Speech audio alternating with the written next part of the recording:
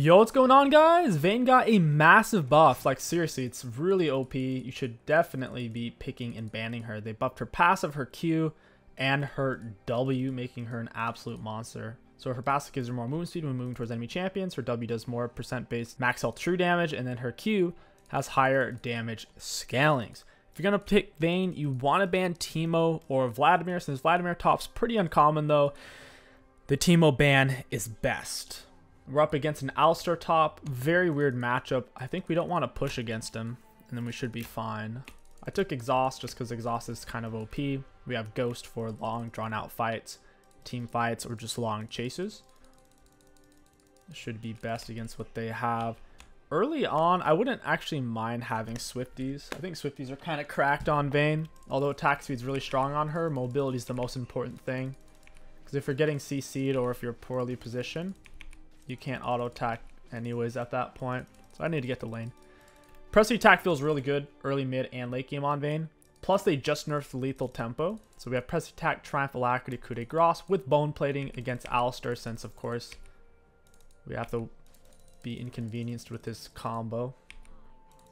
I'm just gonna push him off the minions a little bit here. Against uh, kind of slower paced matchups, you can get away with free boots on Vayne. You can go for a taste of blood. Or first blood, whatever they call that. One that heals you in the domination tree. We're going to auto auto Q. There's our press attack proc. Lots of damage on that. It's a very easy trade pattern.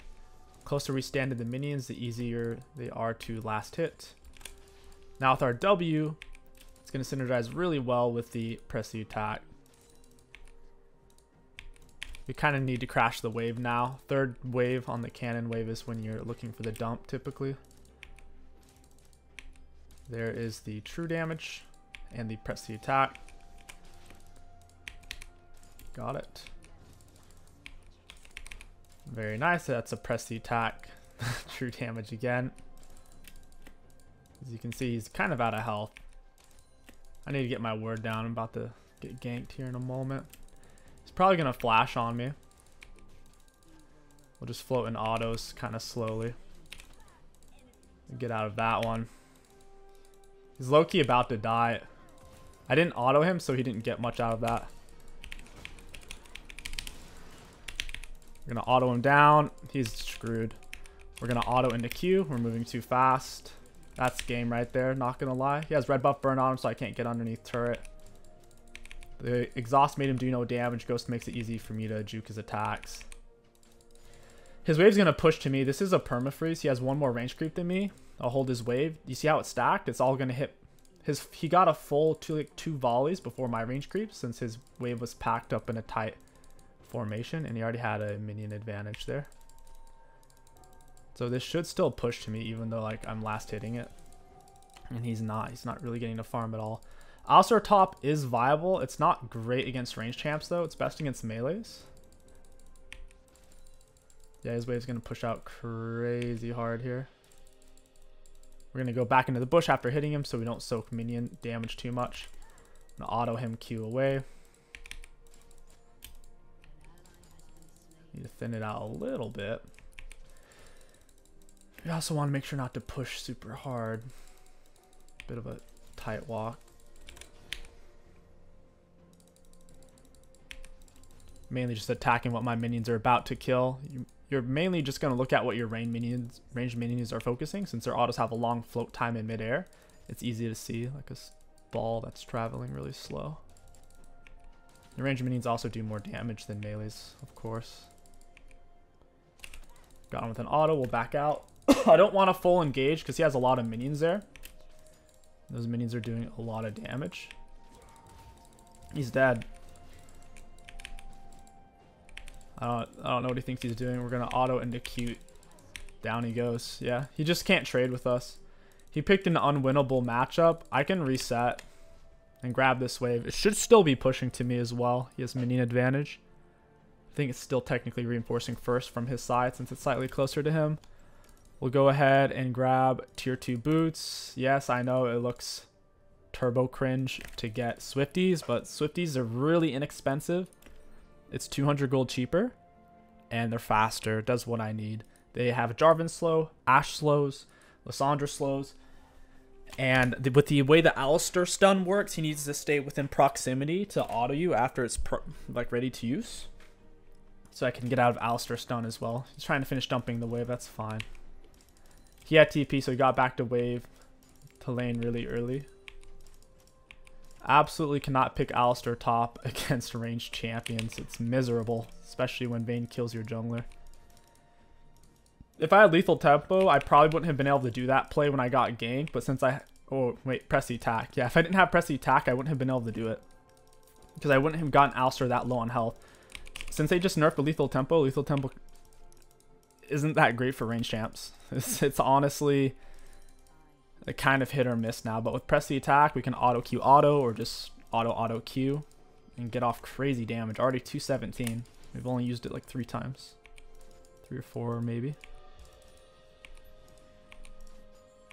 Gonna walk him down here with our passive movement speed.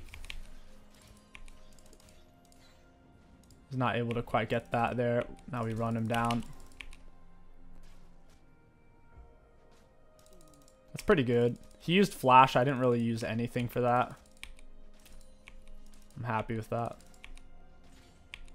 I need to get wards down. We have control of the wave, so I'll get down control ward now. Get down a ward here. We'll go harass him. I can knock him out of midair with my E. Auto E.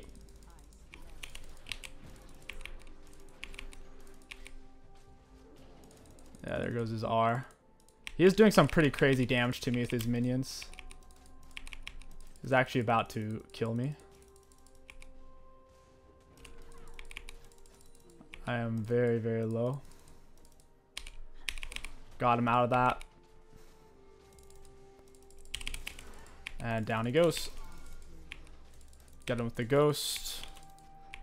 I knew he was going to try to combo me since I was so low, so I immediately started my E. And Vayne's E counts as like a knockback. So it canceled his headbutt dash, pushed him out of it, and then I auto him down. I'm going to stay for as much of this as I can get.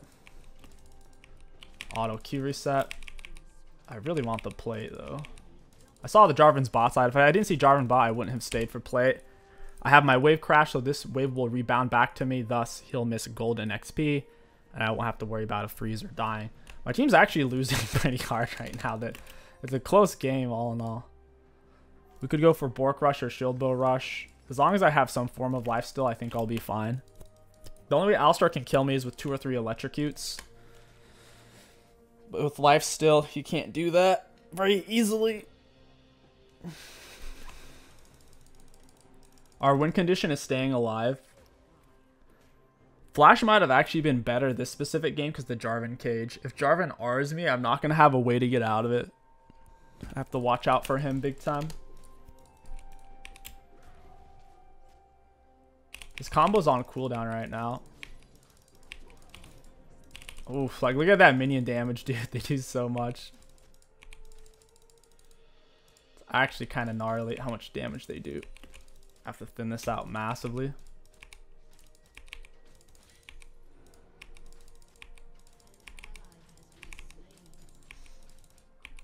He's wanting to obviously push it. Auto into Q. I just wasted my E. Now you can look for the combo. Vayne E is such a high cooldown as well. It's an auto reset. It applies your W. Yeah, the cooldown is very, very long. The mana cost is also very, very high. Vayne's biggest weakness as a top laner or a split pusher is she doesn't have a way to push the wave quickly. She has zero AoE in her kit. So she can only hit one target at a time. I'm going to try to hold this where it is.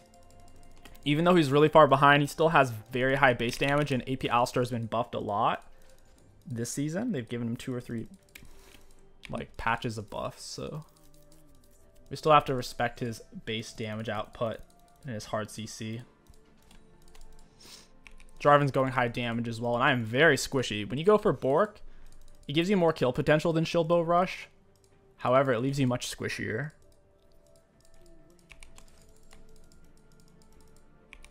I kind of have to push now. My wave reinforced first. So my, mine's going to push out here 100%. I might as well just push with it. Auto Q reset. You can put your Q into walls or structures, basically things that you can't walk through. You can put your Q into and it shortens the Q animation and pinch off the damage slightly faster. Nice, look at that damage. Auto Q back. I canceled that one since he was stepping forward so aggressively.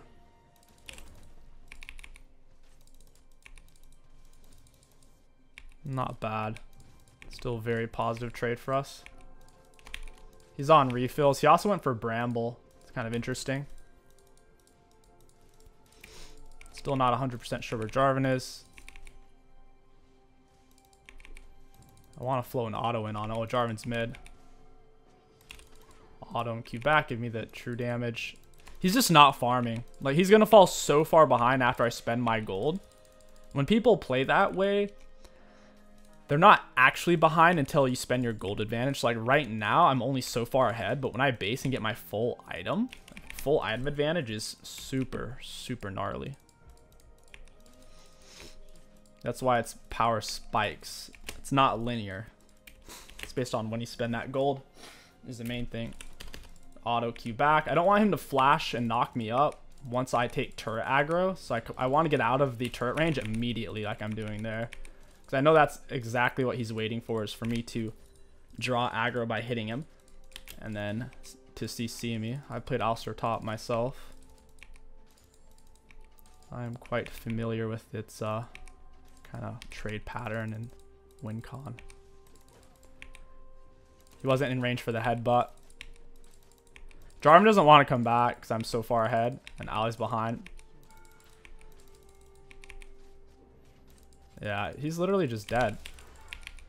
Auto E. Oh, no. No. I thought my true damage would kill him there, but it didn't. All that work, and he just got 600 gold off me. Two kills worth of gold. And I wasted both sums for that. I was going to do what I did last time when I swoop in with my ghost and get that last auto attack. I should have R'd. I haven't actually really R'd yet this game. It gives you a little bit of extra AD. I still don't think you would have died, but would have been closer.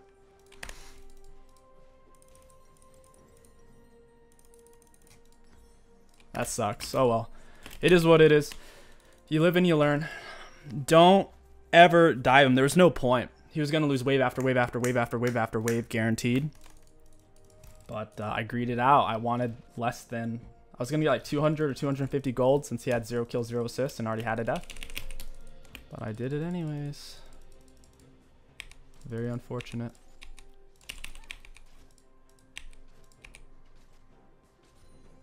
Very, very unfortunate. I don't. I still don't think he's going to be a full item. And if he goes Thornmail, that's not really going to be very good for him. I'm just going to keep him underneath turret, but I'm never going to commit to really taking turret shots because his CC is too much. He can hold you underneath turret forever. They buffed turret damage two seasons in a row now. He's going full armor. I see J4's bot. Oh, I took a turret shot. Feels bad. Alright, I'll hit turret then. Very cool. He's not able to farm. All he's doing is getting XP from it. You're dead. And you are a goner. Nice try. Very... Well, it honestly wasn't that close because I was moving really fast off R. Your R gives you even more movement speed than your passive gives you when moving towards champ, so there's no way he was going to get away even if he had flash. Jarvan still doesn't want to come back. I don't blame him. Not one bit. I need shield bow for the tankiness. I'll probably end up getting Titanic as well this game. For once again, the tankiness. I'll take this, slow down Jarvan's completion of his jungle item. If you take away the large jungle monster in a camp, then they can't really finish it very well. That is how it works. Ooh, I might be able to get his red buff here too. Red buff would feel so good on Vayne. Because I'm already moving fast into them, and then they'll be slowed as well. Auto Q auto. Auto Q auto. Nice. Go back top here. Alistar's about to suffer. I'm not underneath turret, friend. He loses all of his health. I lost pretty much all mine, though. I actually have to leave. I'm missing too much HP. Like, even though he's low, I'm further up on the map. It's easier for them to rotate into me. I already got the red buff and Krugs. Yeah. It is what it is. It is what it is. I don't have to stay. We can reset. I'll go for shield bow, then I'll pick up Titanic. It's tempting to go for Kraken. It's kind of greedy though. I don't have a Lulu or a Yuumi, Ivern, Morgana. I don't have anything to really keep me alive, so I have to keep myself alive.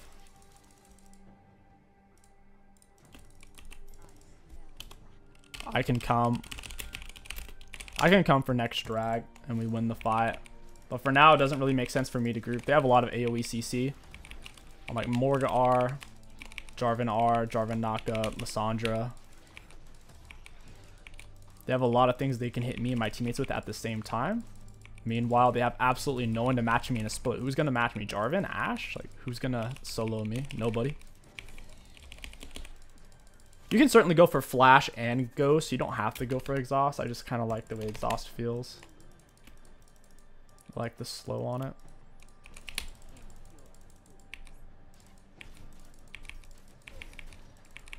I'm really fast, friend.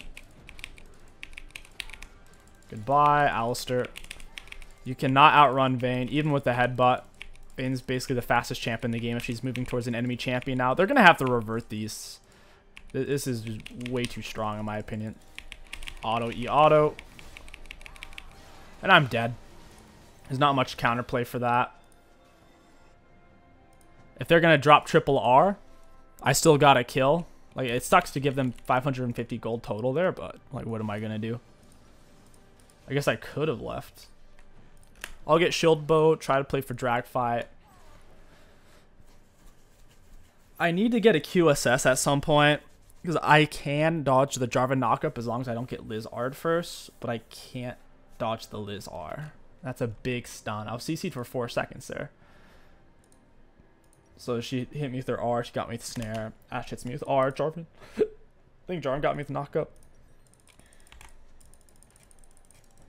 Alright, got the shield bow. I can take a hit. I mean, we have bone plating. 51 less damage. The next three spells and attacks receive 51 less damage. So we, in theory, take 150 less damage if I get hit repeatedly. For a second and a half. Oh, Jax really just did that. He... He went Ravenous, which is fine. But he should have gone for Merc Treads. He didn't go for Green Jungle item either, so I don't know. this game's actually ridiculous.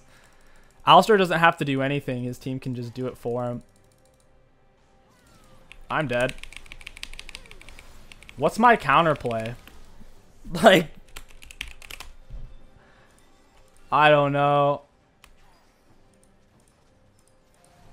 Yeah, I don't know. I guess Jax just got hit by one more snare and died there because they still had everything for me.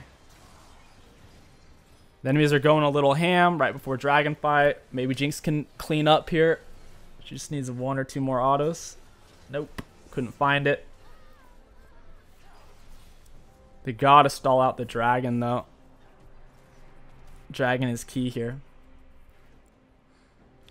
I'm gonna come for dragon fight, but then I'm not grouping. The Jax is going to be completely useless in team fights. Like, seriously. Zero tenacity. No Merc Treads, no Green Jungle item. They can kill him without even having to use really anything. Like they can hold Liz R and Ashe R and just save that for me. I don't have much counterplay against that. Down you go, buddy. Get him against the wall. Auto Q reset. And I got it. Nice. We got Dragon as well. That's big. Ashe, you're not strong. You only think you're strong. Okay, never mind. She's actually really strong. I needed a Q reset against the wall.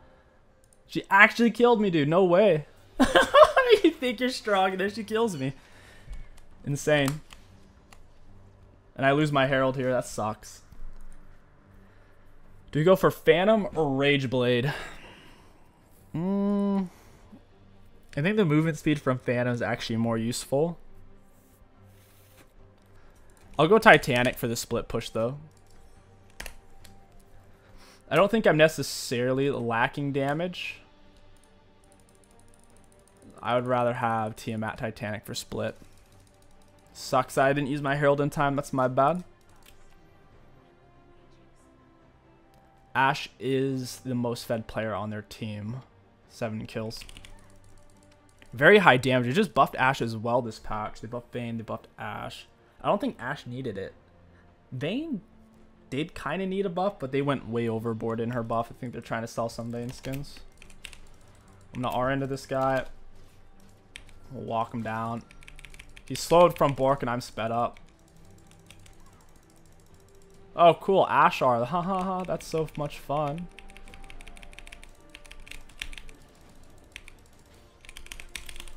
That's so much fun, dude.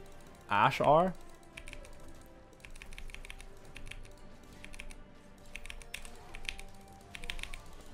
I love Ashar, dude. It makes the game really fun. The hitbox is too big. There's no way to really dodge it.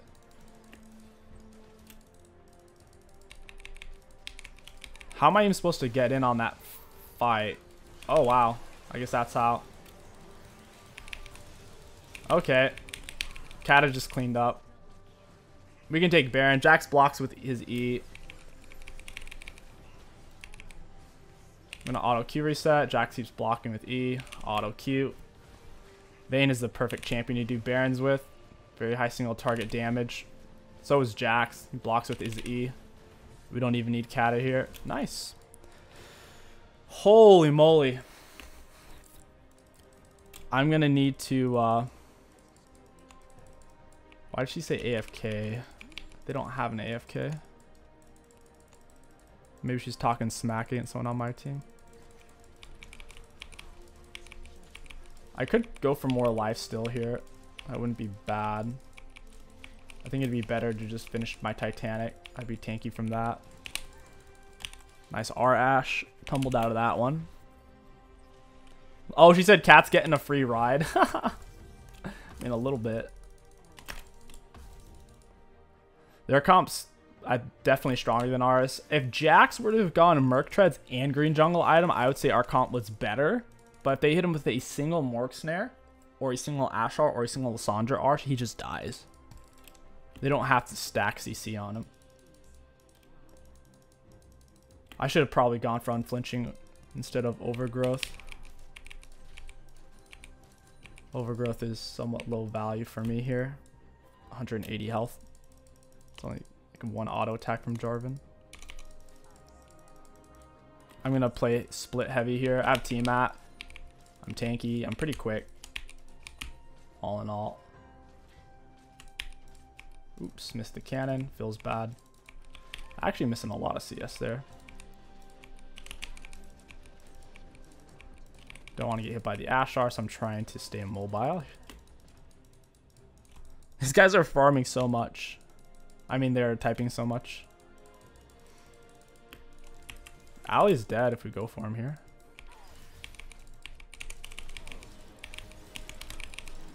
Oh, that's bad. I did get the kill at least. did get the kill. We'll see if it matters. It's looking like it won't. Jax just cannot move, dude. LCC for four seconds. If we push for Rage Blade from here, we have double on hit with Titanic, Bork, I guess with their W, we were triple on hit. So yeah, Rage Blade would be really good. Could go for QSS. Tough call. QSS or Rage Blade. Alright, I'll go QSS. If we lose Hex Tech, I'm fine to be honest. Yeah, we don't necessarily need the drags, but it'd be nice to have them. Alistar was push up so far, I didn't think I was going to run into Lissandra immediately. Like, right when I stepped into that bush, it was do or die.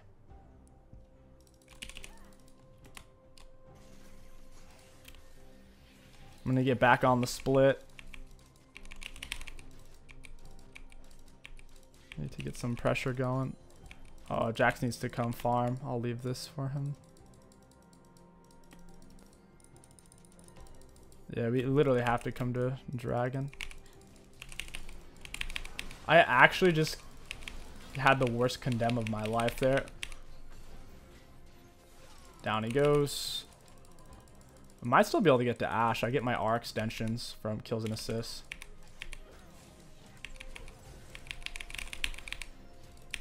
Hey, Alistar. You probably should have kept running, my dude.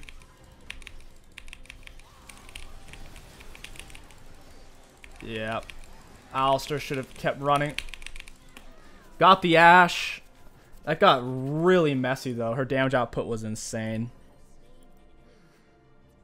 Maybe I should just go for race uh, I'll get QSS for now, and then I'll finish going for Rage Blade. Going to take a long-ass time to get it. I need 2,000 gold. So much CC, dude. There's no way to play this game clean. I could go for Merc Treads. Merc Treads wouldn't be bad. We're kind of out of the lane phase. Is that our best move here? QSS and pick up Mercs. So what am I at? How much gold is that costing me? So I'm at 500. Now I'm at, oof, so basically cost me 500 gold to swap it. That's not worth. I'll just keep it like this for now. Because if I QSS properly, I'll be dodging or expunging a lot of their CC anyways. Alistar needs support item? No, Alistar top does not build support items. That's not how it works.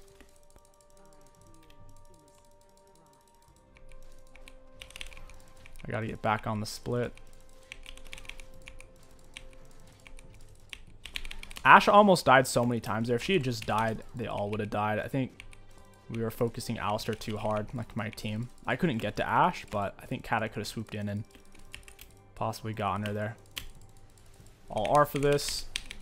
Auto ER. Oh, cool. Come on, boys. My Q isn't going forward for some reason. Down they all go. My QSS was super late. I did it once the uh, CC was almost off me. But every time I was queuing forward there, like wasn't going forward. It was really weird. It was just like queuing in place.